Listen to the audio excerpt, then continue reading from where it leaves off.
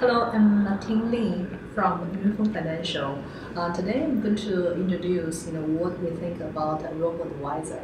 Uh, robo-advisor is not a new idea. You know, since 2008, you know, when most the uh, large financial institutions are busy dealing with the financial crisis, actually lots of uh, technology companies are thinking about new ways of providing financial services. So, you know, Betterment, Wealthfront all started right after the financial crisis. And um, in the past 10 years, you know, the market dynamic has changed very interestingly. They start with these financial technology companies, and then later on, when the financial institutions recovered from the crisis, they think, oh, actually, that's a good idea to do business.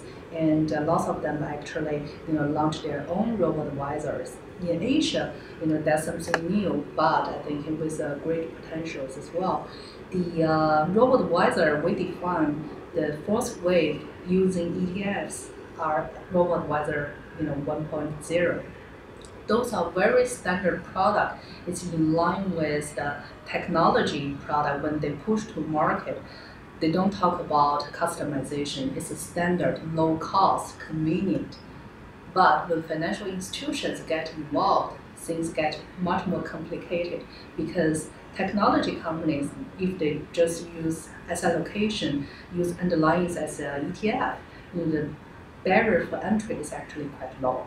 So financial institutions, when they have large uh, client space, they can easily copy that model. So we see, you know, Betterment's and the Wealthfront, uh, their growth slows down versus Vanguard Charles Schwab, they quickly capture the market size. So when we think about you know, what's the future for robo-advisor, uh, my thought is robo-advisor has to be customized to be robo. Robo is if it's just a very standard non-customized product, it's just different kind of asset allocation products. Not much different with a balanced fund, you know, mutual fund already launched many years ago.